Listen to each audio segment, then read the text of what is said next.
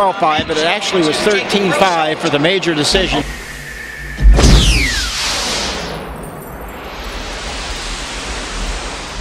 And ironically, Konrad shoes have looked like orange trim on the black shoes.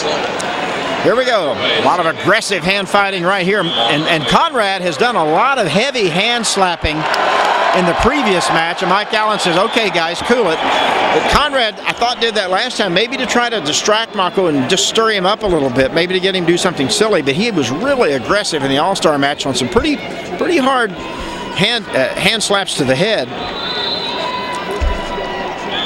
Mocco forces into Konrad a little bit there. Konrad gives some ground, but comes back. He's, a, of course, a big, big man. He's got great height, leverage.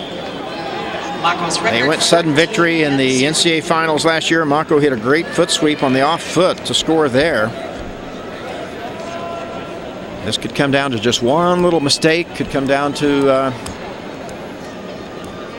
stalling call, perhaps, or maybe a, a good ride. Konrad rode Mocco in the tiebreaker in Stillwater. That was part of the advantage he had there. Opening 50 seconds. I'll go with an underhook. Now, with the underhook, of course, is when he likes to foot sweep if he gets a chance. Konrad knows that. Usually does a nice job staying out of the foot sweep. Got caught in one in the dual in, in uh, Minneapolis last year in the dual match, and that was the decider in that one, three to one.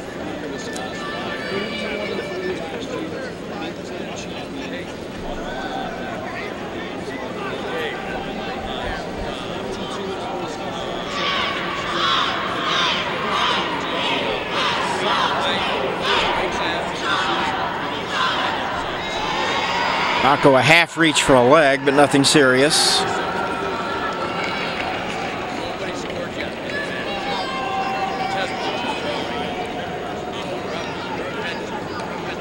Mocco goes back to the underhook on the right side of Konrad, which usually means he's looking for a foot sweep.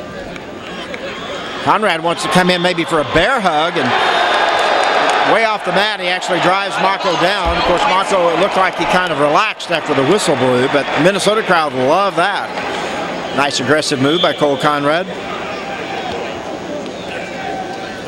Didn't really come close to having it, but it stirred the folks up a little. That's good.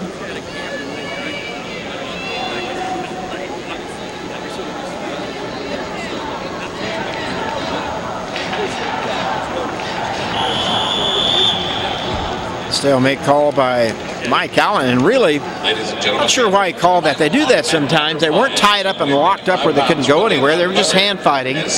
Sometimes an official seems to think, well, I'll call a stalemate and they'll just uh, stir them up a little bit. I personally don't think it really does anything unless they're just hanging on the head and tied up and not moving.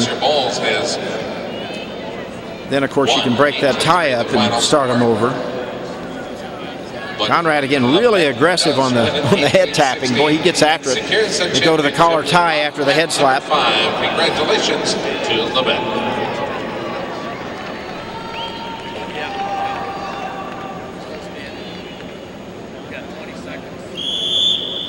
Stalemate called again. That time, though, they were tied up. Minnesota State Mankato, Central Michigan. Course, either man could have pulled out of it. They weren't locked up by any means. They just chose to stay tied up. Konrad, a little half reach for a leg. Desk. But again, I think that's more for show than anything. Under 10 seconds to go in the first. Neither man has had a real serious move. And time runs out in the first, no score. Scoreless first period. Mocco's choice. He takes bottom. Let's see if Cole Konrad tries to aggressively ride. He's a really a good rider. Please stay with us to honor our champions and our runners-up at the end of this match. We want all. For those of you on Takedown Radio, hang on. We'll try to get a comment from the winning coach just right after this. Mocco to his feet. Konrad trying to put him back down and does. Good job with the tight waist. Four point stance again by Mocco. Turns into him. Can't get it done though. Good job by Konrad. And Mocco stands up again. This time he's almost into him. Konrad wants to run him out and does run him out. Whoa, right into the Oklahoma State bench.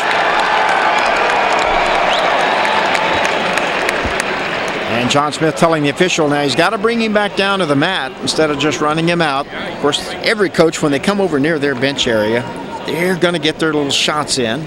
Maybe get the official thinking their way, they hope. Mocco off the whistle again. Four point stance. Here we go, probably the same note. Brings him back down. Now Mocco's up again, and he's out of there. So escape by Mocco, and good job as uh, Konrad was trying to get some riding time there. He did get 32 seconds. But probably thought he might be in danger of getting a stalling warning on top because he wasn't really doing anything but just letting him stand up and not really bringing him back down to the mat all the time. So who can score maybe here in the second period?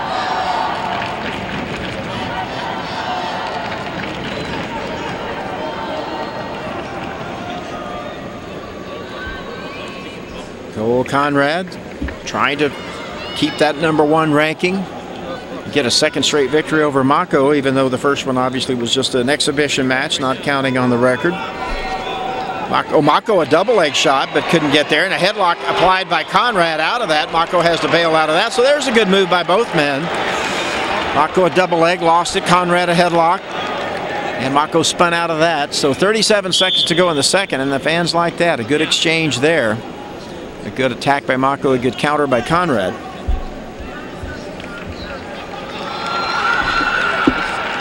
Not much to choose from here. Nobody can get really the move they want. Would see if Mocco goes back to the underhook. He can try to work, he does, trying to work the, no he doesn't get the underhook, I beg your pardon. Went up behind the head with a collar tie. Konrad has been kind of shrugging that upper body like he wants to try a little, little shrug move for a takedown, but he hasn't really gotten that aggressive with it. 1 0 Mocco as the period ends. 32 seconds riding time, the advantage for Konrad. So Mocco would have to ride for 132 here to do any good from that standpoint. Konrad quickly to his stance. Mocco not that interested, just lets him go. So 1 1, and they'll go on their feet for the final 153. So Mocco decided not to try to ride. They lock up tight here. Let's see if somebody wants to throw. Konrad reaches over with it. He wants to trip. Mocco trying. Oh, and he throws Mocco to his back. And he's pinned. He's pinned. Cole Konrad wins the big enchilada for Minnesota in 5 minutes, 26 seconds.